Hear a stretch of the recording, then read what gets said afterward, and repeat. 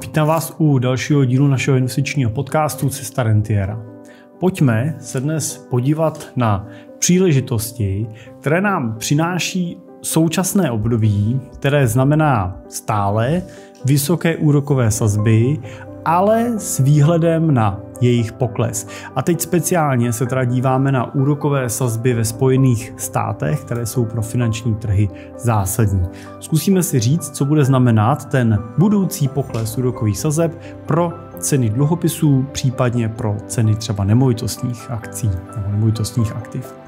Moje jméno je Jiří Cimpel a jsem privátní investiční poradce a wealth manager v Cimpel a partneři, kde pomáháme našim klientům z řad podnikatelských rodin na jejich cestě k finanční nezávislosti a hlavním paktu finanční nezávislost pomáháme taky užívat a čerpat rentu z jejich majetku tak, aby eh, jim pomáhal naplňovat životy jejich i životy dalších generací.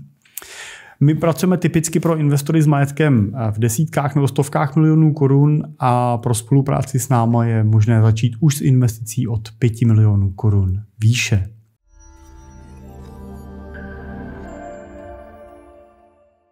Tak pojďme se podívat na to, co jsem sliboval. A to je, jaké příležitosti nám otvírá ten současný finanční trh, kde úrokové sazby máme vysoko, jsme na amerických sazbách přes 5%, což je po mnoha a mnoha letech ta nejvyšší hladina. Eh, americká centrální banka eh, přešlapuje ohledně dalšího snižování nebo prvního snižování úrokových sazeb, ale zároveň můžeme vlastně říct, že víme, že ty sazby takhle vysoko nezůstanou navždy. Nejsme si nikdo jistý, jak rychle dolů půjdou, protože začátkem roku byl odhad toho, že centrální banka bude snižovat sazby v letošním roce hned více než pětkrát. V tuhle chvíli se bavíme o tom, jestli letos sníží, nebo jestli sníží jednou, nebo dvakrát, nebo jestli budou snižovat až příští rok. Takže tím chci říct, že ten termín toho, kdy ty sazby začnou jít dolů a jak rychle půjdou dolů, se spíše odsouvá ale to samozřejmě možná eh, otvírá příležitost eh, eh, všem investorům, kteří ještě možná nervózně přešlapují v hotovostních aktivech, ještě pořád čekají s penězma na spořících nebo termínovaných vkladech a přemýšlí, co s nima udělat dál. Možná při pohledu na finanční trhy vám přijde líto, že jste nevložili svoje prostředky do akcí už třeba v únoru, v lednu, březnu toho roku loňského, to znamená roku 2023, protože za těch 12 měsíců, to znamená od toho prvního kvartálu 20, nebo od druhého kvartálu 23 do konce prvního kvartálu 24 udělali akciové indexy růsty v desítkách procent. To samozřejmě mno, mnoha investorům z podstatné části kompenzovalo ty ztráty předchozích let a z velké části řadě z nich to kompenzovalo i třeba inflační ztrátu, kterou mohli na portfoliu vidět. Takže zatímco v České republice ceny hotovosti nebo výnosy hotovosti klesaly, klesají a nadále klesat určitě budou, tak ceny akcí rostly a ty inflační, ty inflační ztráty vlastně doháněly. To, co ale nerostlo, eh, tak byly eh, výnosy na úrovni dluhopisových investic a na úrovni eh, nemovitostních investic. A teď samozřejmě pozor, Teď nemluvím o těch českých, protože samozřejmě na úrovni českých dluhopisů díky tomu, že Česká národní banka už začala snižovat úrokové sazby, tak tam jsme samozřejmě ten pohyb a ty plusové výnosy už viděli. Na úrovni českých nemovitostních fondů je pro mě ten pohled trošku zavádějící, protože ty Nemovitostní fondy v České republice se chovají z mýho pohledu takovým prazvláštním způsobem. Asi bych je možná přirovnal víc k takový investici dluhopisový než nemovitostní, protože oni v podstatě nesou ten fixní výnos mezi 4 až třeba 6 procenty. Některý ty agresivnější nesou, nesou ten výnos třeba o kousíček vyšší, ale ne moc. A nesou ho pořád, jo, což je takový zvláštní, zvláštní český e, fenomén, že tenhle výnos generují, ať jsou úrokové sazby 0% nebo jsou úrokové sazby 5-6%. Nesou to v dobách, kdy nemovitosti performují a rostou na cenách na úrovni 15% za rok a stejně tak ten, ten výnos dělají v období, kdy nemovitosti nesou výnos na úrovni jednotek nebo nižších jako jednotek procent nebo třeba nulu.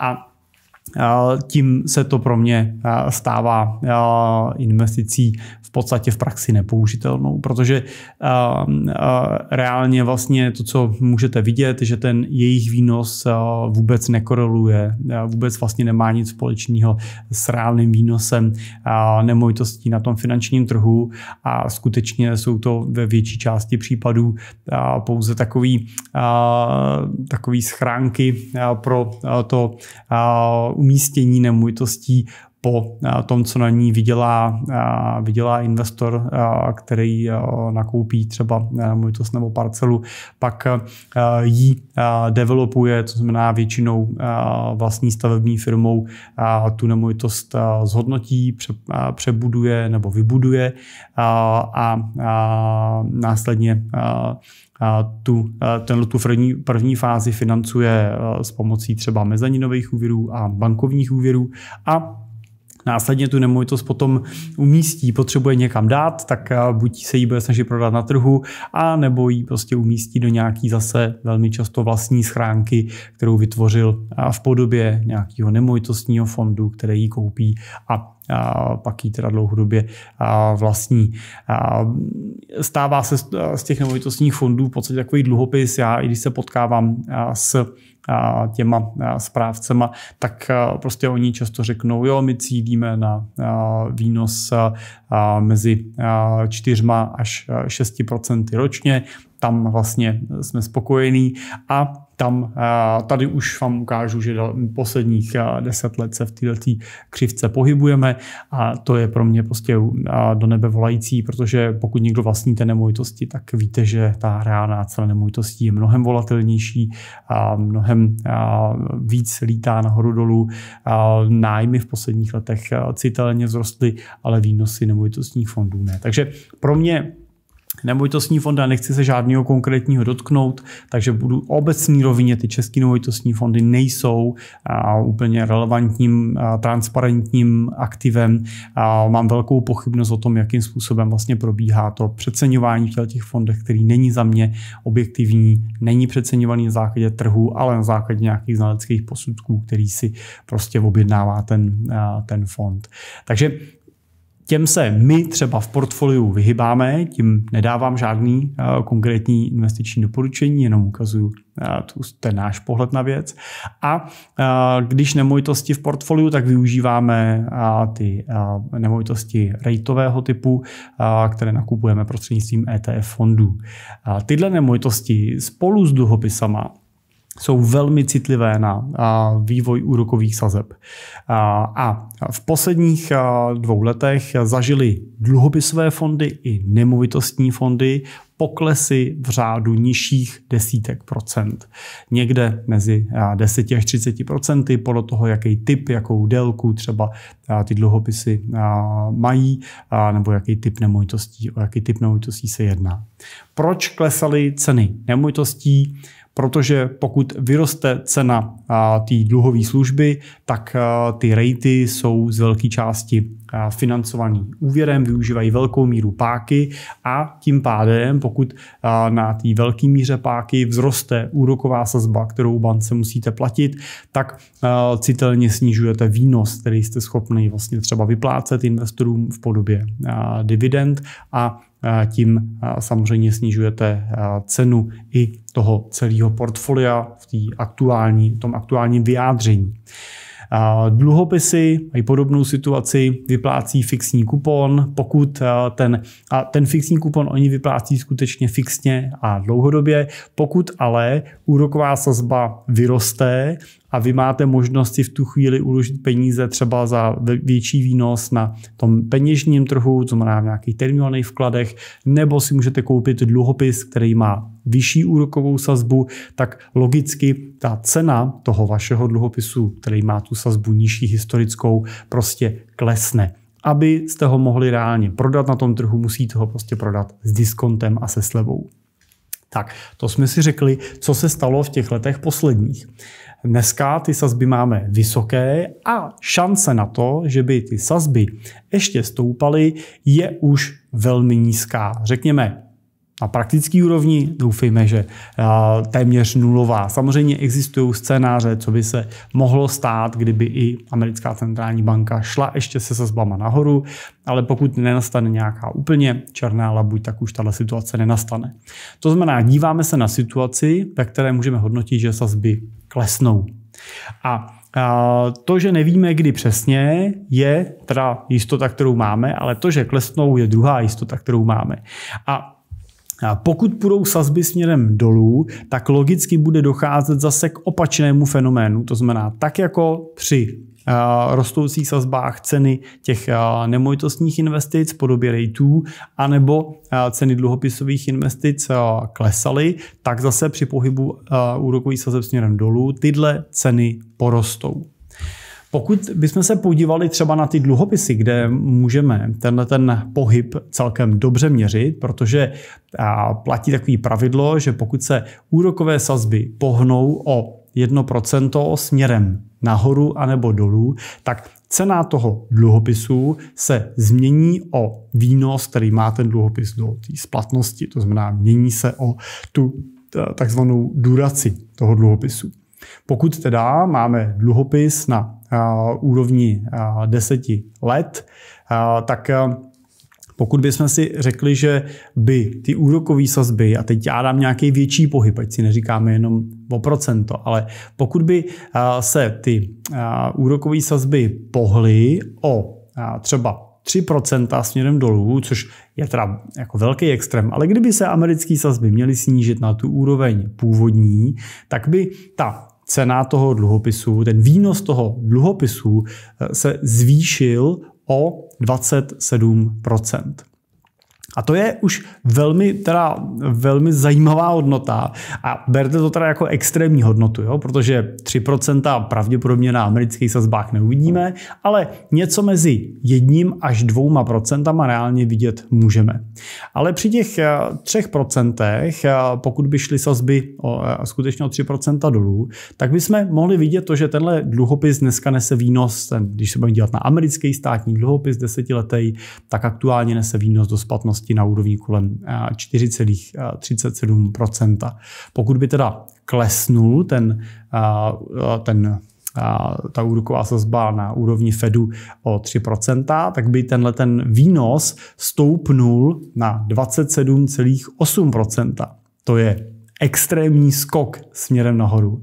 No a pokud bychom se dívali na to, že ten dluhopis máte třeba dvouletý, to znamená máte před sebou ještě 8 let držby toho dluhopisu, tak ten pohyb té ceny by mohl být na úrovni téměř dvojnásobku. To znamená, ta cena té vaší investice by se mohla v tomto případě téměř dvojnásobit. Mohli byste ho prodat za, je to asi 180% té svojí původní hodnoty. Takže 3% dolů asi nenastanou, bude to někde mezi jedním až dvouma, ale ten pohyb na úrovni dluhopisové investice může skutečně při pohybu úrokové sazby udělat ten růst v řádu desítek procent. A to už pro dluhopisy je velmi citelný pohyb. A pokud jste v dluhopisech eh, stále, to znamená zůstali jste v něm, eh, v nich i po tom, co eh, ty sazby narostly, tak prostě vydržte, tenhle ten pohyb přijde a ta cena dluhopisů zase vzroste. Pokud jste v nich, nebo my třeba v portfoliích jsme v nich samozřejmě dlouhodobě a se trváváme v nich, tak ona v tom krátkém horizontu nevzroste úplně, takže o to, o, o to, o co to kleslo, to zase stoupne nahoru, ale postupně ten, tu svoji ztrátu vykompenzují. Už dneska vlastně přináší větší výnos na těch kuponových sazbách ty nový dluhopisy než v minulosti a tím nám samozřejmě část té ztráty kompenzují. Ale ta příležitost se tady otvírá speciálně pro ty z vás, kteří v těch pozicích ještě nejsou, anebo v nich jste, ale máte nové prostředky a chcete dokupovat. Teď já nechci říct, že byste měli spekulovat na to, že koupíte teda jenom dluhopisy, ale pokud doteďka máte diversifikovaný portfolio, ve kterém kombinujete akcie a dluhopisy, máte v něm oboje dvoje, ty třídy aktiv, tak eh, by to samozřejmě mohlo svádět na to, že se podíváte a řeknete si, a akcie v plusu, dluhopisy nemovitosti v mínusu, tak já dokoupím ty akcie, ty mají větší potenciál. Nedělejte to, dokupte tu portfolio tak, jak ta vaše strategie dlouhodobě říká. Znamená, pokud třeba kupujete, my třeba používáme velmi často portfolia, které jsou inspirované Nobelovou nadací. Tyhle portfolia vlastně jsou alokované z 55% v akcích, 20% mají v nemovitostních akcích a zbylejch 25% mají v těch dluhopisech, tak pokud máte třeba podobný portfolio, tak držte tu strategickou alokaci, to znamená kupte v aktuálních cenách těch 55% v akcích a těch zbylých 45% zachovejte v těch aktivech nemovitostí a dluhopisů, protože se vám tohle do budoucna vrátí. Navíc ta současná situace na finančním trhu nás trošičku má tendenci vracet zpátky do toho klasického trhu a klasického fungování, který známe z minulosti. A tím myslím to, že akcie a dluhopisy vůči sobě mají takzvanou negativní korelaci. To znamená, že když akcie rostou, tak dluhopisy spíš tak jako se trvávají a přešlapují na místě. A když zase naopak akcie klesají, tak dluhopisy jsou to aktivum, který má tendenci posilovat. Tím důvodem je právě to, že v případě, že akcie rostou, tak centrální banka většinou nemá potřebu nijak zásadně stimulovat trhy a spíš má tendenci je trošku přibržďovat. To znamená, ty úrokové sazby v těchto obdobích mají tendenci většinou spíš narůstat anebo stagnovat. A pokud sazby rostou, tak bohužel ceny dluhopisů klesají. To jsme viděli v těch posledních letech.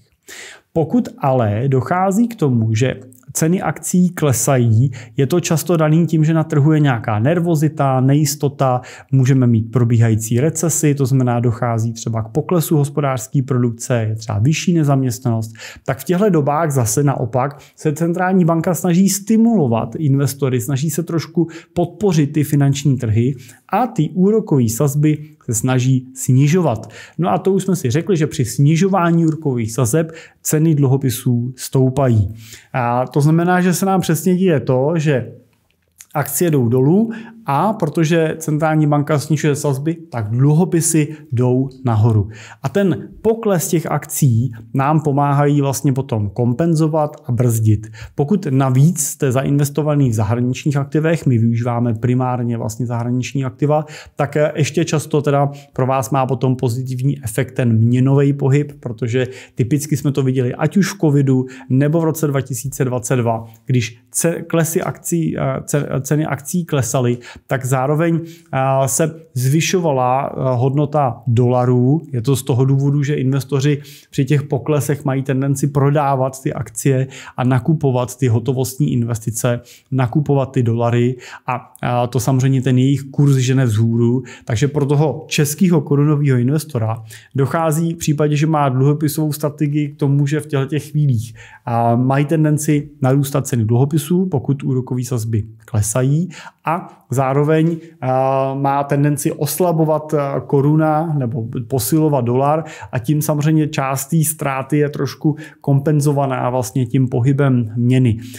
Ona není úplně dlouhodobě, kompenzovaná tím pohybem měny, dochází k tomuto tomu fenoménu většinou krátkodobě, protože tak, jak dolar posílí, tak zase potom při návratu na ty, na ty normální trh zase má tendenci se vrátit k rovnovážní úrovni, ale to už zase akcie většinou posilují. Takže on skutečně v tomto případě ten kurzový pohyb slouží doslova jako tlumič. On ve většině případů skutečně tlumí ty pohyby toho finančního trhu v tom korunovém vyjádření.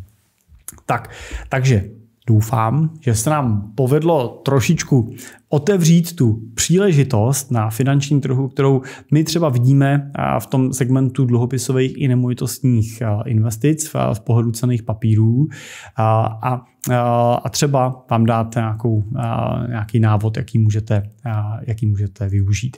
My jsme třeba začátkem letošního roku ty dluhopisové pozice prodlužovali, to znamená, tak jak jsme v období, kdy sazby rostly, ty dluhopisy měly z těch dluhopisů s tou krátkou splatností, to znamená, byli jsme na úrovni let ve splatnosti dluhopisů, tak, tak jak vlastně se sklidnil ten trh, dosáhli sazby maxima a vidíme, že bude přibližně pravděpodobně pokles, tak jsme se snažili ty durace prodloužit, takže jsme realokovali naše dluhopisové pozice na dluhopisy s tou dlouhou splatností na úrovni dva, nebo část toho dluhopisového portfolia na úrovni 20 let a plus, protože tyhle dluhopisy samozřejmě ten pohyb budou mít největší. Jenom pro zajímavost to srovnání při pohybu o 1% na úrokových sazbách bude ten pohyb na tom výnosu do splatnosti a teď spíš to berte jenom v tom poměru.